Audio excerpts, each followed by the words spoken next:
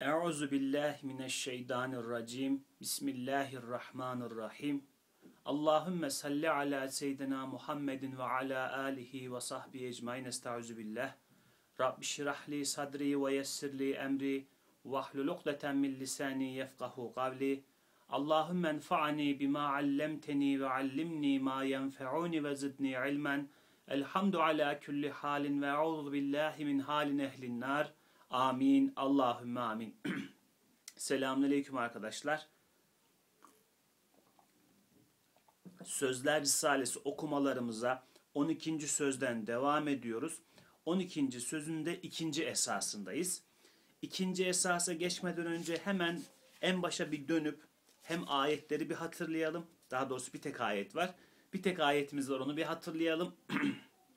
Ondan sonra 12. sözün ne yapmak istediğini bir hatırlayalım. Sonra birinci esasta ne konuşmuştuk onu şöyle bir hatırlayalım. İkinci esasa öyle geçelim istiyorum ben. 12. söz Bismillahirrahmanirrahim.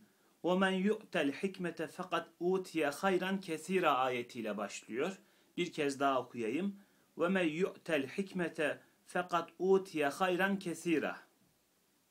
Bu ayetin kısa bir meali şöyle. Kime hikmet verilmişse işte ona pek çok hayır verilmiştir. Kime hikmet verilmişse işte ona pek çok hayır verilmiştir. Bakara suresinin 269. ayeti. Bakara suresinin 269. ayetinden. Elbette burada hikmet ne demek o çok önemliydi. Onu geçen hafta bir miktar konuşmaya çalıştık. Bu hafta biraz da hayrı konuşalım. Hayır ne demek? Bediüzzaman Hazretleri hayrı e, Risale-i Nur'da iki şekilde, e, iki zeminde, iki paradigmada ya da tanımlıyor.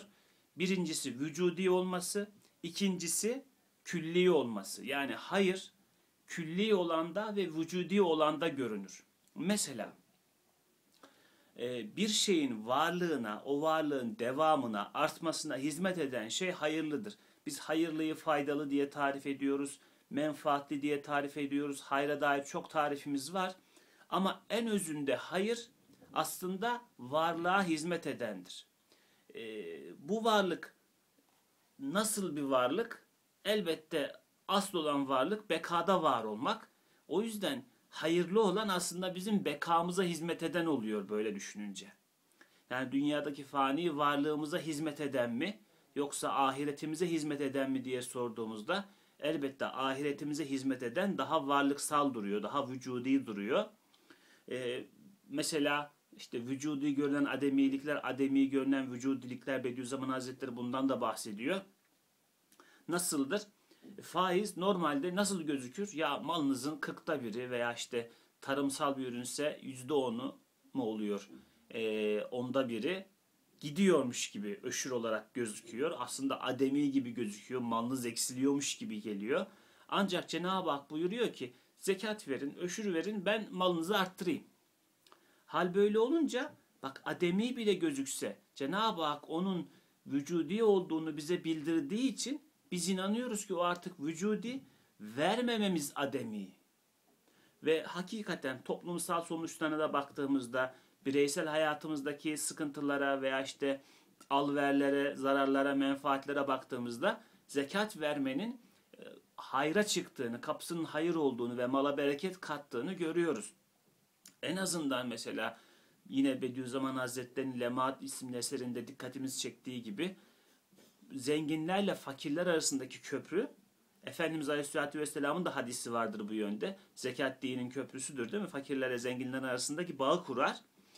Ee, o yönden bile velev ki malımızdan bir şey eksiliyor olsa ama toplumsal barış olarak kazandığımız için bunun dönüşünü yine kazançlı oluyoruz. Eğer toplumsal barış kalmasa Allah korusun bir iç savaş çıksa, içtima hayat karışsa senin o malının ne hayrı dokunacak sana artık. O mal da sende kalmaz ki.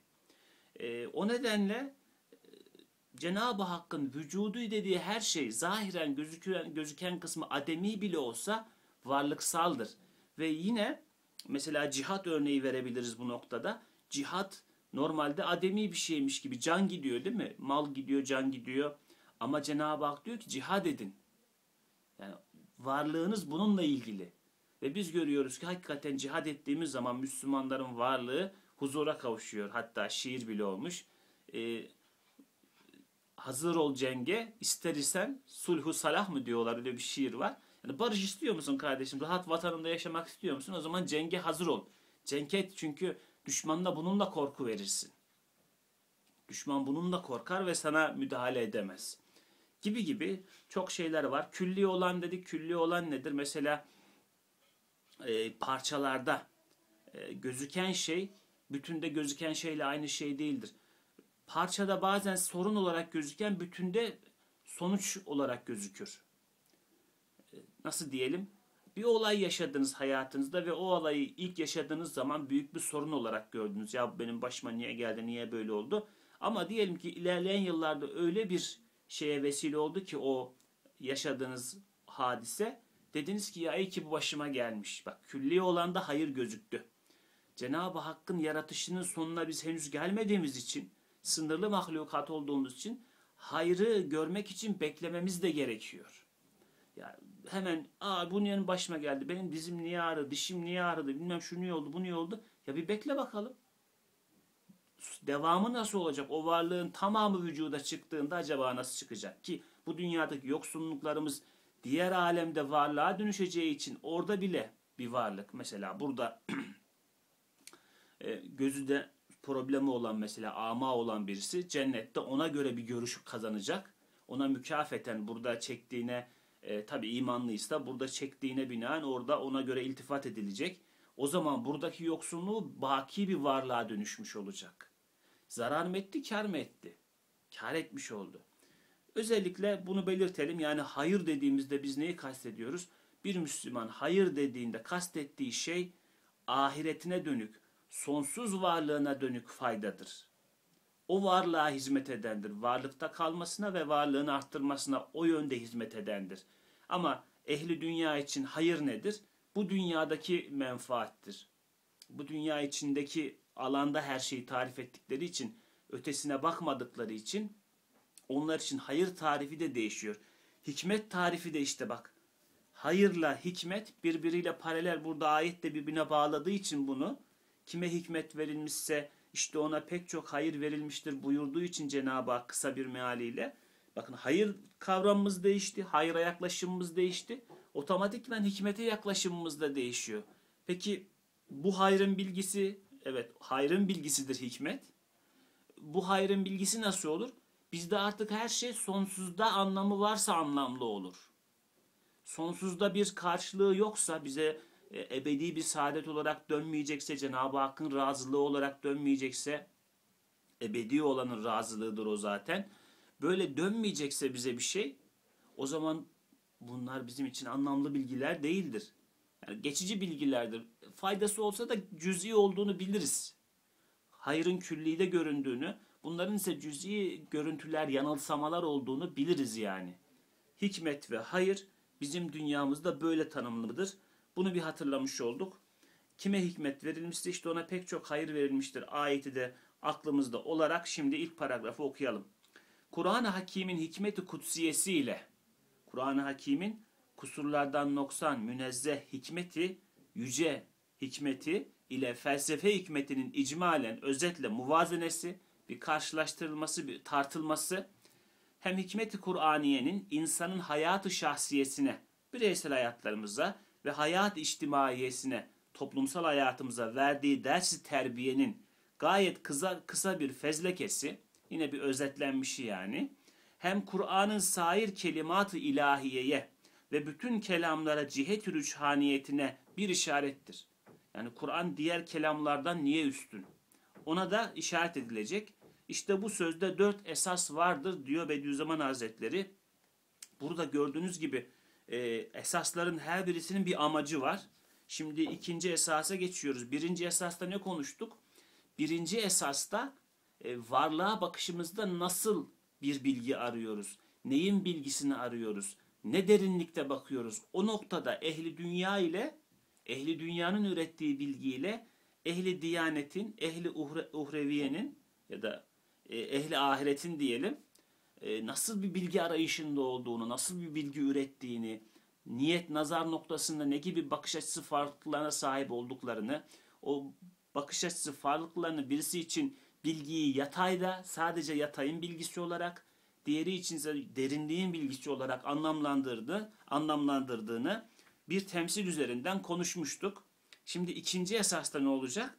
İkinci esasta da şöyle diyor bakın başında. Kur'an-ı Hakim'in hikmeti hayatı şahsiyeye verdiği terbiye ahlakiye ve hikmeti felsefenin verdiği dersin muvazenesi. Yani Kur'an-ı Hakim'in hikmetiyle dünya dersinin, dünyacıların dersinin e, insanın bireysel ahlakına verdiği şey ne, öğüt ne? Nereye götürüyor insanı? Nasıl bir meyve yetiştiriyor? Bireysel olarak insanı ne noktaya götürüyor? Nasıl eğitiyor? Ne noktaya itmeye çalışıyor diyelim. Bunun e, kıyaslaması olacak. Bismillah. Üçüncü esasta onu da okuyacağız inşallah bugün. Niyetim var. Orada da mesela şey diyor. Hikmeti felsefe ile hikmeti felsefe ile hikmeti Kur'aniyenin hayatı içtimai beşeriyeye verdiği terbiyeler. Burada da içtimai hayatta acaba Kur'an'ın hikmetiyle dünyacı bilginin, dünya bilgisinin sadece dünyaya münhasır bilginin e, götürdüğü yerler, toplumu nereye götürüyorlar, nasıl meyveler verecekler, nasıl e, şeyler telkin ediyorlar. Onların kıyaslaması oluyor burada da. E, şimdi ikisini de okuyalım. Ondan sonra da ince tefekkürünü etmeye çalışalım. Evet vaktimiz var inşallah muvaffak oluruz diye diliyoruz. Tevfik, hidayet, nur Allah'tan biz de inayetini ondan dileriz. İkinci esas. Kur'an-ı Hakim'in hikmeti hayatı şahsiyeye verdiği terbiyeyi ahlakiye ve hikmeti felsefenin verdiği dersin muvazenesi. Kur'an-ı Hakim'in hikmeti hayatı şahsiyeye verdiği terbiyeyi ahlakiye ve hikmeti felsefenin verdiği dersin muvazenesi. Felsefenin halis bir tilmizi bir firavundur. Fakat menfaati için en hasis şeye ibadet eden bir firavunu zelildir. Her menfaatli şeyi kendine Rab tanır. Hem o dinsiz şakirt mütemerrit ve muannittir. Fakat bir lezzet için nihayet zilleti kabul eden miskin bir mütemerrittir. Şeytan gibi şahısların bir menfaati hasise için ayağını öpmekle zillet gösterir, deni bir muannittir. Hem o dinsiz şakirt cebbar bir mağrurdur. Fakat kalbinde nokta istinat bulmadığı için zatında gayet acz ile aciz bir cebbarı hotfuruştur. Hem o şakirt menfaatperest hodendiştir ki gaye himmeti nefis ve batnın ve fercin hevesatını tatmin ve menfaati şahsiyesini bazı menfaati kavmiye içinde arayan dessas bir hodgamdır. Ama hikmeti Kur'an'ın halis tilmizi ise bir abddir. Fakat azam-ı mahlukata da ibadete tenezzül etmez. Hem cennet gibi azam-ı menfaat olan bir şeyi gaye-i ibadet kabul etmez bir abdi azizdir. Hem hakiki tilmizi mütevazidir. Selim, halimdir. Fakat fatırının gayrına daire-i izni haricinde ihtiyarıyla tezellüle tenezzül etmez. Hem fakir ve zayıftır. Fakr ve zaafını bilir. Fakat onun maliki kerimi ona iddihar ettiği uhrevi servetle müstahnidir ve seyidinin nihayetsiz kudretine istinad ettiği için kavidir. Hem yalnız liveçhillah, rızayı ilahi için, fazilet için amel eder, çalışır. İşte iki hikmetin verdiği terbiye, iki tilmizin muvazenesiyle anlaşılır. Üçüncü esas, hikmeti felsefe ile hikmeti Kur'aniyenin hayatı içtimai beşeriyeye verdiği terbiyeler. Üçüncü esas, hikmeti felsefe ile hikmeti Kur'aniyenin hayatı içtimai beşeriye verdiği terbiyeler. Ama hikmeti felsefe ise hayatı içtimaiyede noktayı istinadı kuvvet kabul eder. Hedefi menfaat bilir. Düsturu hayatı cidal tanır. Cemaatlerin rabıtasını unsuriyet, menfi milliyeti tutar. Semeratı ise hevesat-ı nefsaniyeyi tatmin ve hacat-ı beşeriyeyi tezittir. Halbuki kuvvetin şeyini tecavüzdür. Menfaatin şeyini her arzuya kafi gelmediğinden üstünde boğuşmaktır. Düsturu cidalin şeyini çarpışmaktır. Unsuriyetin şeyini başkasını yutmakla beslenmek olduğundan tecavüzdür. İşte bu hikmettendir ki beşerin saadeti selb olmuştur. Ama hikmet-i Kur'aniye ise noktayı istinadı kuvvete bedel hakkı kabul eder. Gayede menfaate bedel fazilet ve rızayı ilahiyi kabul eder. Hayatta düsturu cidal yerine düsturu teavünü esas tutar. Cemaatlerin rabıtalarında unsuriyet, milliyet yerine rabıtayı dini ve sınıfi ve vatani kabul eder. Gayatı hevesat-ı nefsaniyenin tecavüzatına set çekip ruhu maaliyata teşvik ve hissiyat-ı ulviyesini tatmin eder ve insanı kemalat-ı insaniye sevk edip insan eder. Elhamdülillah. Hakkın şeyini ittifaktır. Faziletin şeyini tesanüttür. Düsturu teavünün şeyini birbirinin imdadına yetişmektir. Dinin şeyini uhuvvettir, incizaptır. Nefsi gemlemekle bağlamak, ruhu kemalata kamçılamakla serbest bırakmanın şeyini saadeti dareyindir. Dedik ve birinci, ikinci, pardon, ikinci ve üçüncü esasları okumuş olduk. Bismillah. Şimdi tekrar başa dönelim. İkinci esastan başlayalım. Arkadaşlar tekrar altını çiziyorum. Biz burada e, seküler dünyanın, seküler algının, seküler bakış açısının ürettiği bilgiyle uhrevi bir bakış açısına sahip dünyayı dünyadan ibaret saymayan ahiret derinliğine, marifet derinliğine, Allah'ı bilme derinliğine ve onunla beraber bütün akaid-i imaniyeyi de sayıyoruz. Hepsinin sağladığı bu dünyayı bu dünyayla açıklamak zorunda olmamak derinliğine. Bakınız bu dünyayı bu dünyayla açıklamak zorunda olmamak derinliğine sahip olan bir müminin zenginliğini, dünyaya kattıklarını, ona bu bilgiyle katılanları anlamaya çalışıyoruz. Ee, Cenab-ı Hak bizi Bakara suresinin hemen başında onlar ki gayba iman ederler diye övüyor değil mi? Demek ki gayba iman etmekte övünülecek bir şey var. İnsana bir kattığı bir şey var. Ee, nasıl söyleyelim? Daha fazlasına ulaşmak veya bütünün tamamına vakıf olmakla en azından uyanış içinde olmakla bütünün tamamına bize kazandırdığı bir denge var. Söz gelimi ben bir dostumun herhangi bir tavrını görsem ondan umulmayacak. Ya bu adam böyle yapmazdı bunda bir şey vardır deyip o davranışı hani derler ya faval bekle en azından bir temkinle şey yaparım. Acaba bunu niye böyle yaptı? Veya bu iş gördüğümden ibaret değil mi? Bunun arkasında başka bir durum da mı var? Gibi düşünürüm. Allahü alem çoğu zaman da o beklentim, o temkinim, o tevakkufum beni hakikate ulaştırır. Bakarım ki hakikaten Aa, bunun arkası başka bir şeymiş. Mesela bugünlerde işte çok çalkalanan bir hadise var. E, medyada, sosyal medyada. Mesela o mevzu hep solculardan taraf geldiği için bende bir şey vardır bu huydur. Solcular bir şeyin üstüne çok düşüyorlarsa ben tevakkuf ederim onda. Temkin gösteririm, beklerim bu işin sonu neye bağlanacak. Gaza gelmem, onların propagandasıyla hemen o doğru galiba bu falan demem. Aksine onlar çok yükleniyorsa bunda bir şey vardır, bir hinlik vardır diye düşünürüm. Cenab-ı Hak da bu feraseti boş çıkarmıyor bence. Hep böyle sonlara doğru bakıyorum ki ya bu iş başka bir şeye dönüyor. Gibi gibi. Yani bu iş bu kadardan ibaret değil. Bu işi bu kadar da açıklamak zorunda değiliz. Bu işin arkası da var, önü de var, sağı da var, sol da var gibi geniş bir bakışa sahip olmak o hadiseyi daha sağlıklı bir şekilde, daha bütüncül, külli olan hayra yakındır demiştik ya başında dersin. Veya daha vücudu, varlıksal bir şekilde anlamamızı sağlıyor. O yönüyle iman bizi bu dünyayı bu dünyadan ibaret saymamak, bu dünyayı bu dünya ile açıklamak zorunda olmamak gibi avantajlara kavuşturuyor ve bu avantajın da yansımaları sahada gözüküyor. Hem bireysel hayatımızda hem toplumsal hayatımızda başka yansımalarını da anlatacak Bediüzzaman Hazretleri. Ee, şimdi onları göreceğiz inşallah. İkinci esas.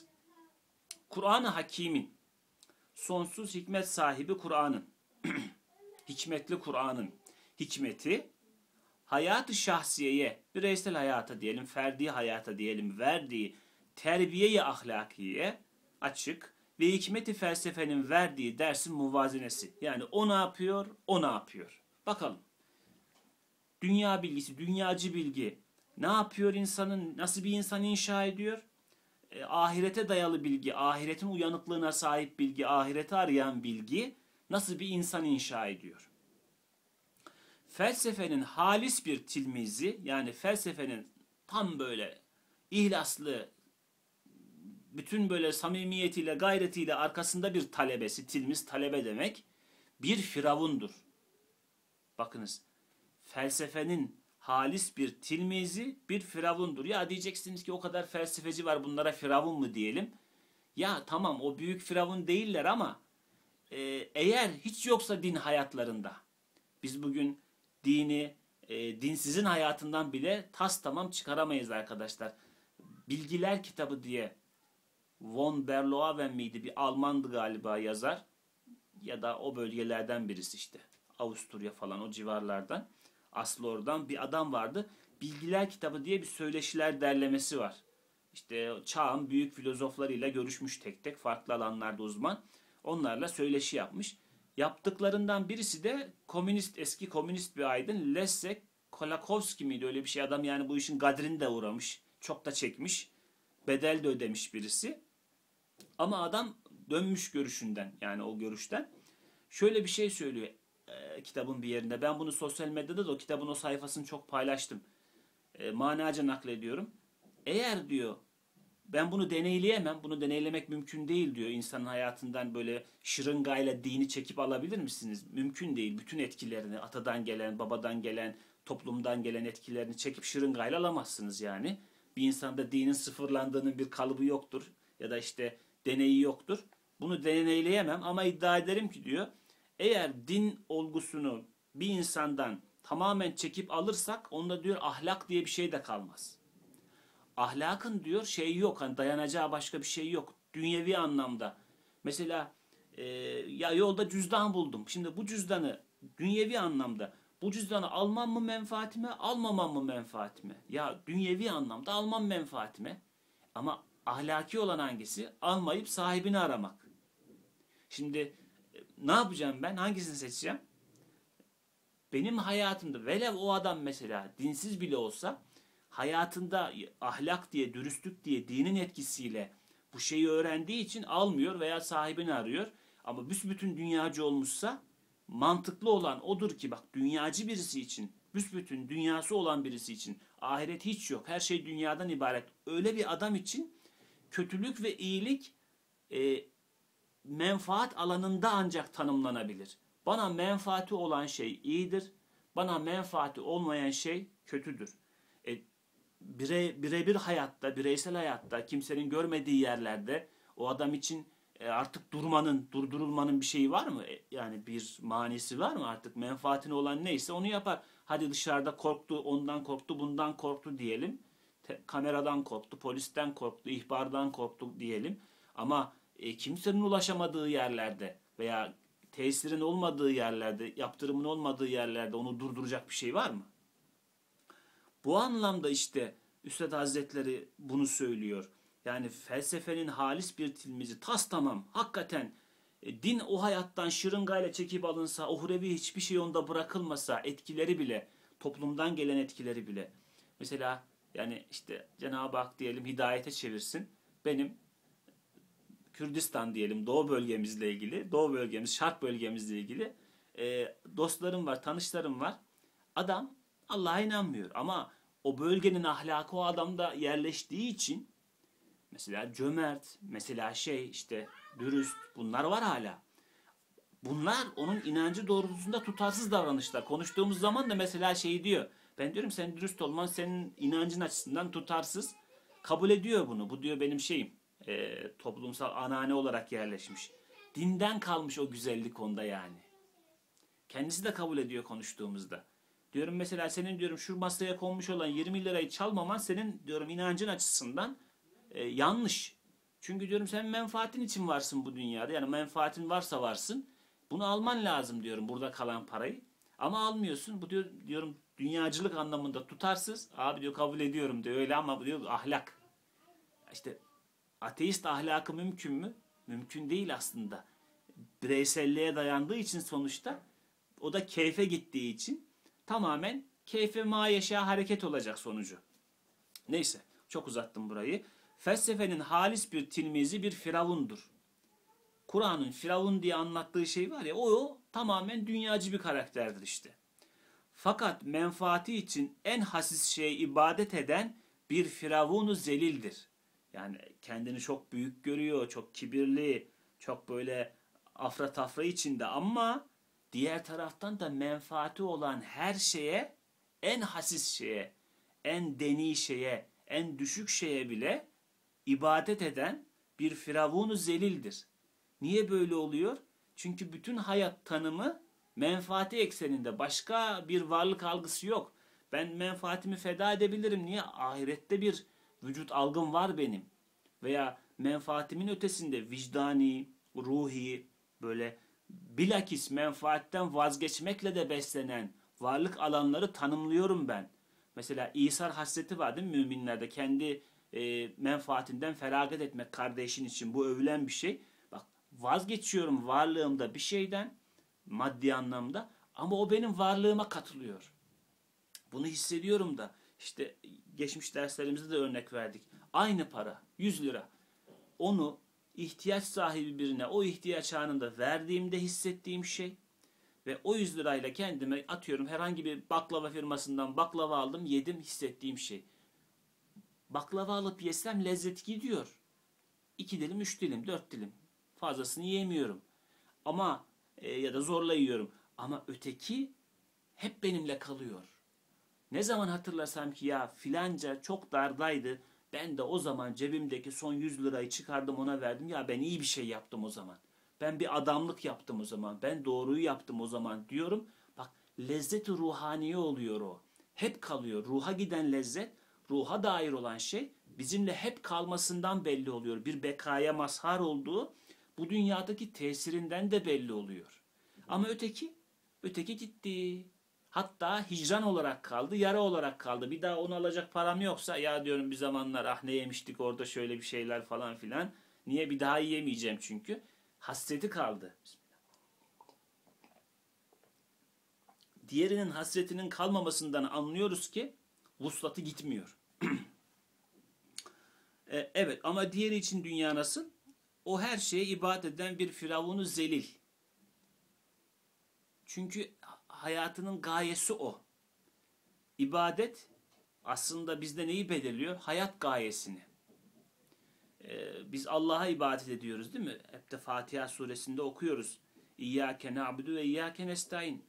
Ancak senden yardım diler. Ancak sana ibadet eder ve ancak senden yardım dileriz diyoruz. Bununla neyi beyan ediyoruz? Yani gayemiz sensin. Bu varlıkta esas olan sensin. Bu varlığın amacı sensin. Burada o var. Senden sadece yardım isteniyor ve yalnız sana ibadet ediliyor. Yani alacağımız da senden, vereceğimiz de sana. Alacağımız derken tırnak içinde söylüyorum. Yani alıp alabileceğimiz bir şey varsa o yine senden. Verebileceğimiz bir şey varsa o da sana. Yani bu alışveriş senle oluyor Allah'ım. Asıl gaye sensin demiş oluyoruz. Ama sadece dünya için dünyaya bakan birisi artık her şeyi menfaati üzerinde tanımladığı için menfaat duyduğu her şey onun için gaye oluyor. O yüzden zaten dünyaya bu kadar hırslılar arkadaşlar. Bu kadar takla atıyorlar, bu kadar rezillik. İşte ünlüler dünyasını biliyorsunuz yani bir şöhret için ne e, çamurlara batılıyor. Hani o perde arkasında orada yaşananları anlatan filmler de var. Bazen işte e, buna dair ne bileyim makaleler, bilgiler de dolaşıyor internette. Yani insanlar nelere nelere şey yapıyorlar. Seslerini çıkarmıyorlar. Başlarına geliyor. Ne için? E, ünlü olacağım. Bak albümlerim satılacak bilmem ne. Bu kadarına da katlanayım. Menfaati için insanlığından taviz veriyor. Evet. Her menfaatli şeyi kendine Rab tanır. Öyle. Çünkü o onu yönlendirecek. O onu kemaline ulaştıracak. Başka bir şey yok ki. Hem o dinsiz şakirt, mütemerrit yani inatçı ve ina, muannittir. Muannit de inatçı ama mütemerritten farkı ne acaba? Bakalım bu altta nasıl verilmiş manaları. Mütemerrit o da dik kafalı diye verilmiş. inatçı dik kafalı. Muannit de inatçı direnen diye verilmiş. Demek ki yakın manaları var. Fakat bir nüans vardır da biz bilmiyoruz.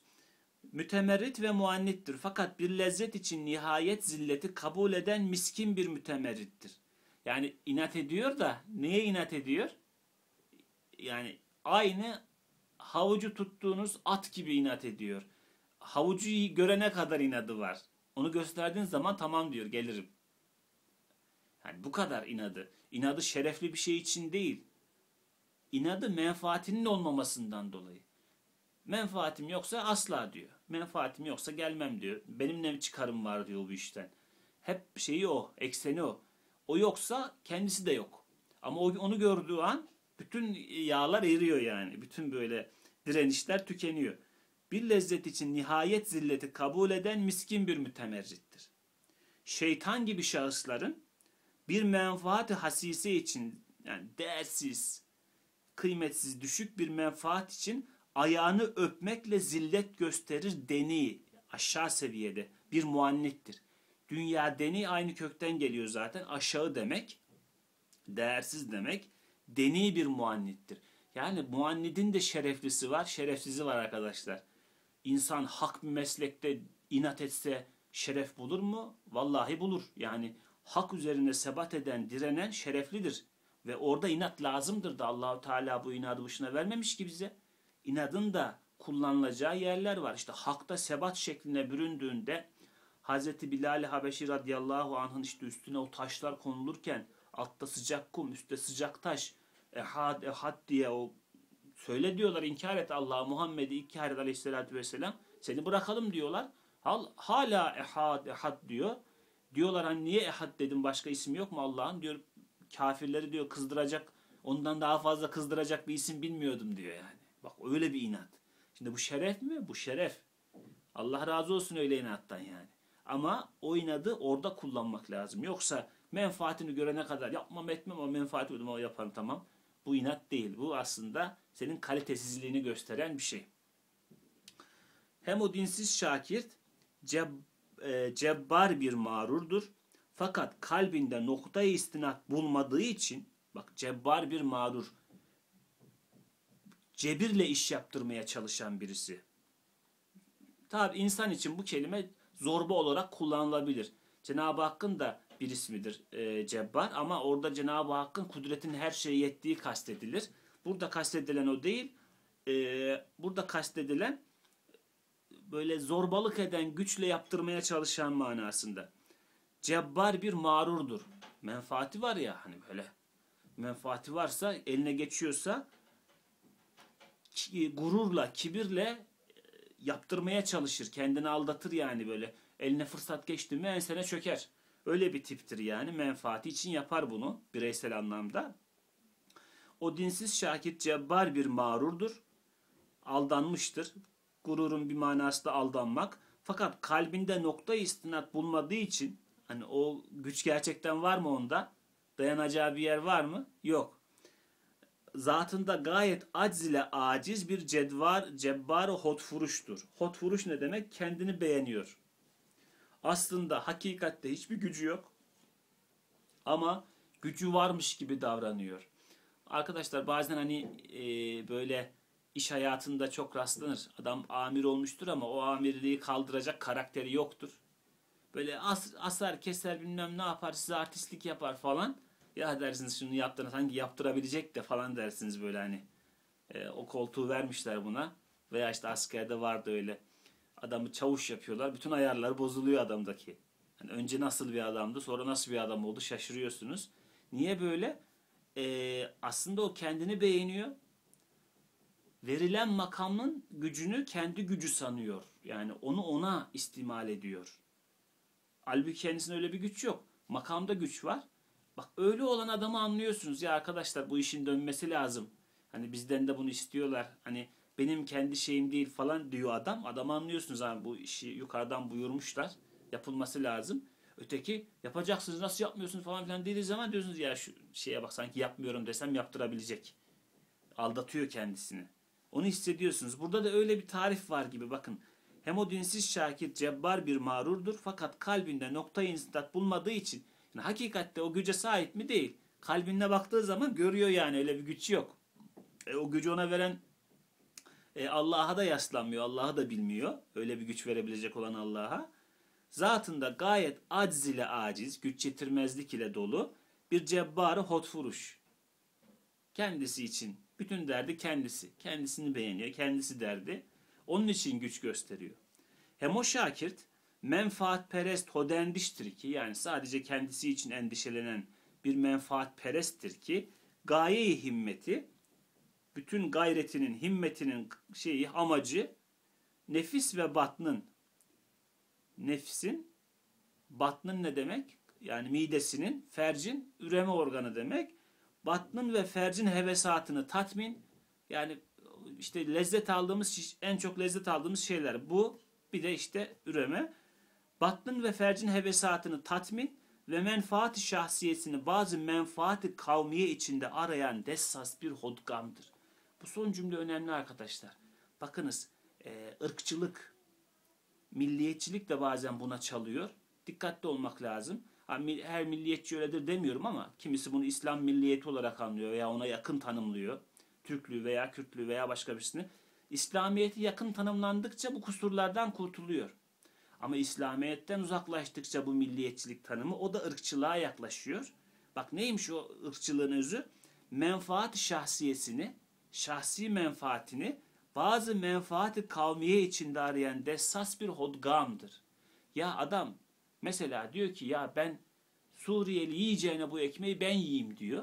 Veya Suriyeliler nefes alacağına ben alayım diyor. Veya işte onların oturacağı evde ben oturayım diyor. Aslında kendi menfaatini arıyor. Ama bunu ne olarak söylüyor? Şöyle yansıtıyor size. İşte Türkiye Türklerindir veya işte Türk'ün Türk'ten başka dostu olmaz veya başka bir şekilde. Bunu sanki böyle milliyetçilik kavgasıymış gibi, derdi vatanmış gibi yapıyor ama aslında gayesi tamamen kendi nefsi. Yani ve vatanım demiyor aslında, nefsim diyor da nefsim dese çok açığa düşecek. Ne diyor? Bak menfaati kavmiye içinde arıyor, menfaat şahsiyesini. Öyle diyor ki bir meşruiyet alanı oluşsun. Niye insanların çoğu da öyle düşünüyor? Böyle bir meşruiyet şeyi oluşuyor hem fikir olmaktan bir meşruiyet alanı meşruiyet alanı oluşuyormuş gibi hissediyor. Oradan çalışıyor. Halbuki ulaşmak istediği şey kendi bencilliği, kendi hodgamlığı, kendisi için gamlanması yani. Hodgamın kelime manası burada nasıl verilmiş ona da bakalım. Kendi keyfini düşünen bencil diyor. Yani bu bilgi türü dünya bilgisi, dünya için dünyaya bakmak, sadece dünya bilgisiyle donanmak derinliksiz, uhrevisiz, gaypsız bilgi meyvesi budur arkadaşlar. Bundan kaçamaz. Devam edelim. Kur'an nasıl bir talebe yetiştiriyormuş? Ama hikmeti Kur'an'ın halis tilmizi ise bir abddir. Kaçınılmaz olarak bir abddir. Bak bir önceki Firavundu. Firavun'un özelliği ne? Ben sizin ilahınızım diyor kavmine değil? Onlar da tasdik ediyorlar. Kur'an'da geçiyor. Ee, bak o kendine tapıyor çünkü e, kendinden başkası yok ki onun için. Ya dünyadan başkası olmadığı gibi onun için. Dünyayı sadece dünya için bakanlara söylüyorum. Dünyadan başka bir şey olmadığı için menfaati açısından da kendisine kendisinden daha yakın bir şey yok. O zaman en çok tapacağı kendisi. Fatiha suresindeki o ayeti yine hatırlayalım. Estağfirullah. İyyâke na'budu ve iyyâke nesta'in. Ancak sana ibadet ederiz. Ancak senden yardım dilenir. Çünkü. Değil mi? Yani öyle de anlayabiliriz. Bir işari manada diyelim. Ancak sana ibadet ederiz çünkü ancak senden yardım dilenir. Peki yok ettiğinizde Allah kavramını haşa Allah'ı yok edemezsiniz de kendi dünyanızda kavramını yok ettiğinizde dünyanın da ahiretini yok ettiğinizde sadece dünya kaldığında yardım istenecek kim?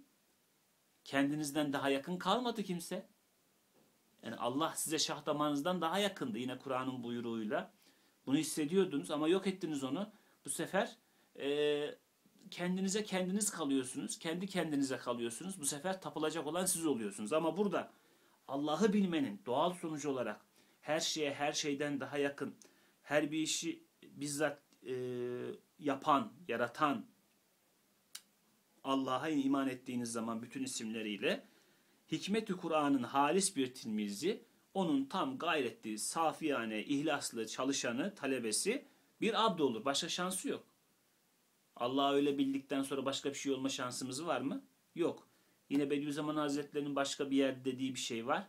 İşte İslam diyor şirki alan açmadığı için İslam'a girip de mütekebbir olmak isteyen İslam'a lakayd olur diyor.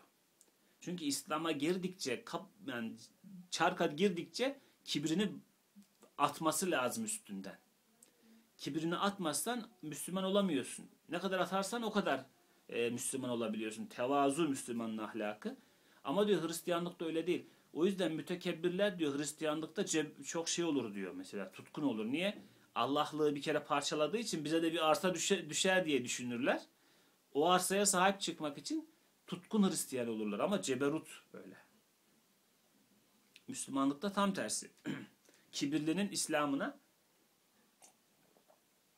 inanmayız. Biz mütekebbir birini gördüğümüz zaman Aa, çok büyük Allah dostu demeyiz. Kibirini gördüğümüz zaman deriz ki ya bu hakikatsiz yani eğer hakikati olsa bu kibirli olmazdı deriz. Hemen çizgiyi çizeriz. Ama hikmet Kur'an'ın halis tilmizi ise bir abddir. Fakat azam-ı mahlukata, mahlukatın en büyüklerine, yaratılmışların en büyüklerine bile ibadete tenezzül etmez. Neden? Çünkü inandığı Allah ibadete layık tek ilahtır. Ondan başka ibadet edilecek hiçbir şey yoktur. Böyle iman ettikten sonra azam-ı mahlukat ister dağ olsun ister güneş olsun. Bir ehemmiyeti var mı? Onun varlık algısı açısından bak bilgi açısından, yaklaşımı açısından bir anlamı yok ki artık. Ha güneş olmuş, ha işte bilmem daha da güneşten büyük yıldızlardan birisi olmuş, kara delik olmuş, bilmem ne olmuş. Ne fark eder? Yine mahluk, yine mahluk. Sonuçta her şeye gücü yeten Allah. Hem cennet gibi azamı menfaat olan bir şeyi gayeyi ibadet kabul etmez bir abd azizdir. Ya biz bir şeyi nasıl reddederiz? İnsanoğlu bir şeyden nasıl vazgeçer? Ondan daha aşkın bir şeyle vazgeçer. Bana şimdi 1 milyon lira veriyorlar ama bir hafta beklersen 2 milyon lira veririz diyorlar. Ben o 1 milyon liradan niye vazgeçerim? E bir hafta sonra 2 milyon lira verecekler. Veya işte e, şimdi yersen tadı daha daha pişmedi, tadı güzel olmadı. Bir saat sonra yersen çok oturmuş olur lezzeti diyor birisi mesela bana bir yemek için. E diyorum ki tamam bir saat sonra yerim ben bunu o zaman. Daha sonrasında daha büyüğü varsa daha öncesindekinden vazgeçmeyi insanoğlu olarak biz nefis düzleminde bile çok makul, çok doğru bir şey olarak görüyoruz. Bak nefis bile bunu kabul ediyor. Nefis diyor ki daha sonra ama daha büyük. Ya olabilir diyor bunun olabilirliği var. Hani her nefis öyle değildir. Çoğu nefis acelecidir ama Hani bunun bir akl, aklın anlayabileceği, nefsin aklının bile anlayabileceği ya da aklın nefsi anlatabileceği bir yanı var. Ama öteki türlü olamaz. Şimdi biz Allah diye bir şeye iman ediyoruz. Ee, onun razılığı öyle bir şey ki, o kadar yüce bir şey ki, cennet zaten o razılığın bir sonucu sadece. O razılık asıl olan. Cennet ondan süzülen bir şey. Şimdi o varken Allah'ın razılığı diye bir şey varken ya cennet gibi azamı menfaat gibi bir şey bile gayeyi ibadet kabul etmez bir abd azizdir diyor. Yunus Emre me, e, Kudüs'e sirruhun o şiiri var ya cennet cennet dedikleri birkaç köşkte birkaç huri isteyene versen onu bana seni gerek seni. Ya işte o makam. Ya Allah razı olduktan sonra bunlar ne ki ya? Bunları zaten o yaratıyor yani. O razı olduktan sonra bunlar detay. Asıl mevzu Allah'ın razılığı. Cenab-ı Hak bize rızasını kazanmayı nasip eylesin. Yani o mevzuyu kavradıktan sonra öyle bir bilgiyi elde ettikten sonra öyle baktıktan sonra menfaatler küçülüyor zaten. Asıl menfaat maddeden uzaklaşıp manaya dönüyor. Ee, hikmete dönüyor. Bilgiye asıl hikmete dönüyor yani. Hem hakiki tilmizi mütevazidir. Selim halimdir. Fakat fatırının gayrına daire-i izni haricinde ihtiyarıyla tezellüle tenezzül etmez. Bak. Tevazu sahibi olmak zorunda. Çünkü Cenab-ı Hak onu öyle vaaz etmiş. Tevazu vaaz edildiğimiz gibi olmak demek. Biz Cenab-ı Hakk'ın mahlukuyuz. Mahluk olanın mahluktan başka bir şeyi kendinden e, ne diyelim kendisine ibadet edilecek kadar küçük görmesine veya kendisine ibadet edilecek kadar büyük görmesine izin yok. Hiçbir şeye ibadet etmeyiz, hiçbir şeyle kendimize ibadet ettirmeyiz. Böyle bir noktadayız. Tevazu demek vaaz edildiğimiz gibi olmak demek. Şimdi böyleyiz. Hakiki tilmizi, hakiki talebesi mütevazidir. Selimdir, halimdir. Kimseye zarar da vermeye çalışmaz. Halim ne demek? İşte yumuşak huyluluk diyebiliyoruz. Veya işte e, Cenab-ı Hak için kullanıldığında hilim ne oluyor? Halim burada ne diye verilmiş bakalım. Burada da yumuşak huylu diye verilmiş. Bu manayla devam edelim. Ee, Cenab-ı Hakk'ın hilmi herhalde ceza vermekte acele etmemesini de kapsıyordu ama ona girmeyelim. Ee, halimdir fakat fatırının gayrına, onun fıtrat, fıtratını yaratanın, yani onu orijinal bir şekilde fıtratı üzerine yaratanın gayrına, daire-i izni haricinde ihtiyarıyla tezellüle tenezzül etmez. Yani kimse için eğilmez, bükülmez, şekil değiştirmez, e, zorda kalmadıkça yani şöyle zorda kalmak deyince de işte hani öldürülecek mesela. Ya diyorlar eğil ya öldüreceğiz. Ya orada eğilmeyi seçebilir öldürülmemek için ama seçmese daha da şerefli bir davranış. Ama seçebilir mesela. İhtiyarıyla ona bırakılırsa seçme şansı tezellüle tenezzül etmez. Neden? Çünkü onlar onun fatırı değil ki. Onun yaratılışı onların eliyle olmadı. Tekrar yaratacak olanlar da onlar değil. Bir şeyi e, tasarruf etme yetkisi sahibinde değil midir? Asıl sahibi kimse onda o tasarruf eder. Bizim sahibimiz Allah'sa bizim eğilmemiz, bükülmemiz, bizdeki her türlü tasarruf Allah'a aittir. O dilerse olur.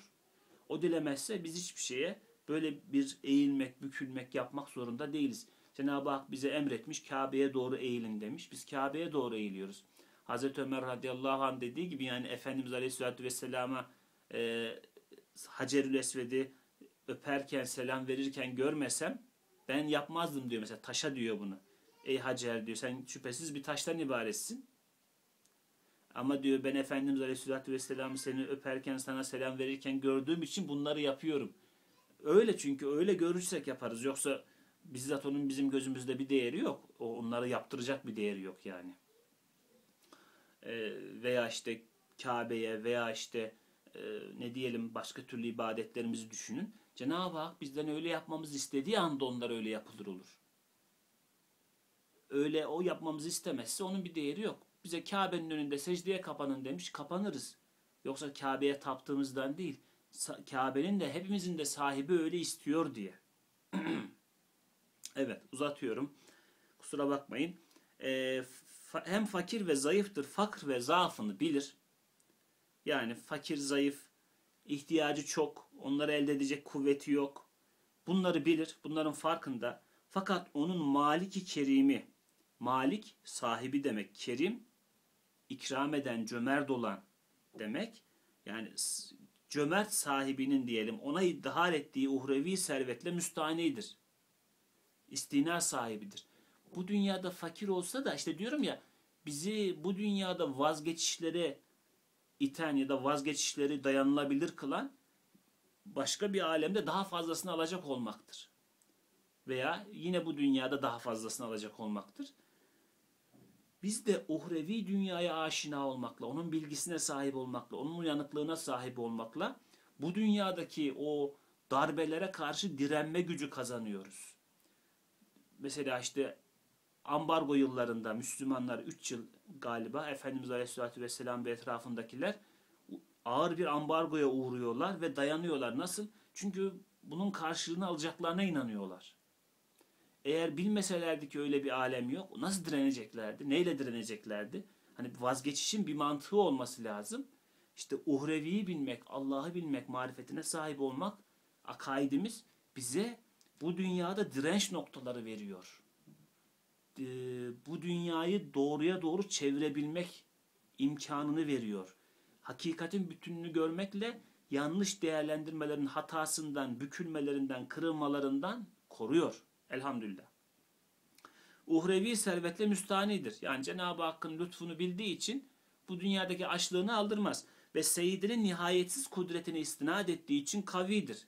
Yani Allah'ın her şeye gücü yettiğini bildiği için eyvallah etmez. Hem yalnız liveçillah Allah rızası için, rıza ilahi için, fazilet için amel eder, çalışır. İşte iki hikmetin verdiği terbiye iki tilmizin muvazenesiyle anlaşılır. Burada arkadaşlar mevzunun şu kısmı mühim. E, üçüncü esasa geçmeyelim çünkü epey zaman geçmiş. Üçüncü esasa girersek e, zaman yetmeyecek. Az konuşmuş olacağız. Şu kısım mühim. Yani bilelim uhrevi bir mehazı olmayan bilgi, Kur'an'ın bilgisi daha çok. Çünkü burada kastedilen, e, çünkü tevhid dini Kur'an. Tevhidi Allah'ı ya da ben bazen böyle diyorum işte ateistlerle falan internette yazışırken ya diyorum bak Allah'ın İslam'ın tarif ettiği Allah'ın daha üstünde bir Allah tarif edemezsiniz siz diyorum. Sizin yaptığınız Allah tarifleri hep Müslümanların Allah tarifinden eksiltmedir. Yaralamadır, çıkarmadır. Deist mesela. Deist Allah'a inanıyor tırnak içinde. Ama nasıl bir Allah'a inanıyor? Gündelik yaşama karışmayan bir Allah'a inanıyor. Eksilttin mi eksiltmedin mi? Eksilttin abi. Veya işte başka bir inanç. Şirk koştuğun anda zaten şirk demek Allah'lığı bölmek demek. İster taşa Allah'lık ver, ister başka bir şeye ver. Niye Allah'a ortak koşuyorsan yaratışta Allah'lığı bölmüş oluyorsun kendi dünyanda. Hakikatte bölemezsin de kendi dünyanda bölmüş oluyorsun. Bu bir eksiltmedir. Buradan şuraya geleceğim. Yani Kur'an'ın bilgisi, onun öğrettiği hikmet bu noktada zirve zaten. Ondan gayrısı öyle böyle Allah'tan eksiltme olduğu için bu randımanı vermiyor. Her ne kadar işte kendilerini İslami olarak tarif etseler bile e, işte deistler de mesela Müslüman deistler diyorlar ama olmaz o iş öyle. Böyle tarif etseler dahi e, veya Müslüman evrimciler veya bilmem ne türlü türlü şeyler çıkıyor. Müslüman sosyalistler bilmem ne bilmem ne. Böyle tarif etseler dahi bu hakikatte eksiltme olduğu için bu sonucu vermez. Muradımız bizim burada kastettiğimiz uhrevilik İslam'ın vaat ettiği uhrevilik.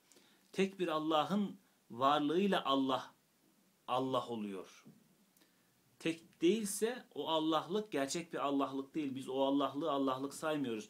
Yok çok tanrılı yok bilmem ne biz bunları saymıyoruz ya. Bunlar hakikatte e, İslam'ın kastettiği şekilde Allah'ı ifade etmiyor. Onların uhreviliği de hakiki uhrevilik değil diyoruz biz. Bu noktada düşündüğünüzde hakikaten İslam'ın bilgisinin sonucu bu olur. O böyle bir insan yetiştirir. Çünkü varlık algısı bambaşkadır. iki boyutludur. Ve oradaki dengeye göre konuşur. Talebesini onu öğütler. Talebesi de onu amaçlar. Bakın her şeyi değiştiriyor bu. Varlıktaki yaklaşımlarımızın tamamını değiştiriyor. Burada okuduk bir kısmını. Öteki de sadece dünyaya bakar. Dünyadan ibarettir her şey. O zaman da her şeyi dünya içinde anlamlandırması gerekir. O da onu oradan zehirlemeye başlar. Dünyaya baktıkça dünyacı olursun. Bunun kaçarı yok. Dünyacı oldukça da zevk perest olursun. Menfaat perest olursun. Kaçarı yok. Çünkü dünya e, kendi içinde anlamlandırıldığında anlamı zalimane olan bir şey. E, neden oluyor bu zulüm? Bu zulmün olma sebebi de resmin tamam olmaması. İşte diyelim bir tarafı siyah bir tarafı beyaz bir resim var. Siz sadece siyah tarafına bakıyorsunuz ve resmin tamamı hakkındaki hükümleri siyahtan veriyorsunuz. Bu yorum e, zulümdür. Niye? Çünkü resmin tamamı öyle değil. İşte insanoğlunun sadece dünyaya bakıp yaptığı yorumlar da, e, çıkardığı fikirler de, e, onlardan ettiği, elde ettiği bilgilerin sonuçları da hep zalimane oluyor. E, dünya savaşları, işte sömürge çağı, ondan öncesi veya sonrası, bütün o yaşananları düşünün. Batı medeniyetinin her ne kadar yüzümüze tebessüm etse de insan hakları şu bu falan filan diye ama dünyaya düş e, kusturduğu kana dair, dünyaya çektirdiklerine dair okumalar yaptığınızda o kölelik çağında olanlar, sömürge çağında olanlar, katliamlar, şunlar bunlar yani çok çok acayip Afrika'da olanlar mesela çok acayip. Güney Afrika'da olanlar mesela daha yakın zamana kadar Mandela'nın döneminde ondaki mücadeleler falan hepsini mesela böyle takip edin. Acayip yani. E bu işte bu canavarlığın sonucu değil mi? Bunlar dünyaya saadet getiremez. Bu dünyacılık, dünyacılık dünyaya saadet getiremez. Dünyacılık dünyaya saadet getiremez çünkü yetiştirdiği canavar. Yetiştirdiği canavar olduğu için canavar da elbette eve saadet getirmez yani. Geldiğinde ortalığı yıkar. Züccaciyeye girmiş fil gibi olur ki filin de niyeti aslında kötülük değil ama tabiatından gereği öyle yapıyor. Bunların tabiatı da öyle bozuluyor. Hasılı hani insanın dünya için yaratılmadığını buradan da anlayabiliriz. İnsan dünya için yaratılmış olsa dünyaya konsantre oldukça insanlıkta ilerlemesi lazım. Fakat biz görüyoruz ki insanoğlu dünyaya konsantre oldukça insanlıkta geriliyor. Konsantre olmadığımız çağlarda insanlığımız zirvedeymiş. Geçmişten kıssalar, menkıbeler, olaylar nakledildiği zaman o büyüklerin haberleri bize geldiği zaman ki onların anıldığı yere rahmet iner. Diyoruz ki ya onlar nasıl insanlarmış, bizler nasıl insanız? Yani onlar insansa biz neyiz? Biz insansak onlar ne? diye düşünüyoruz. E niye oluyor bu? Çünkü onların amacı uhrevi, bizim amacımız dünya olmaya başladı. Bizde bozulmalar da ondan ileri gelmeye başladı. Cenab-ı Hak istikametimizi, rüştümüzü ilham eylesin, ayaklarımızı o güzellerin yolundan ayırmasın. Allah hepinizden razı olsun. Böylece 12. E, sözün ikinci esasında konuştuk. Üçüncü esasa giremedik, gücümüz yetmedi. Onu bir dahaki derse konuşuruz inşallah. Cenab-ı Hakk'ın tevfiki refikimiz olsun. Subhaneke la ilme lena illa ma allamtena inneke entel alimul hakim ve ahiru da'vahum elhamdülillahi rabbil alemin. El Fatiha.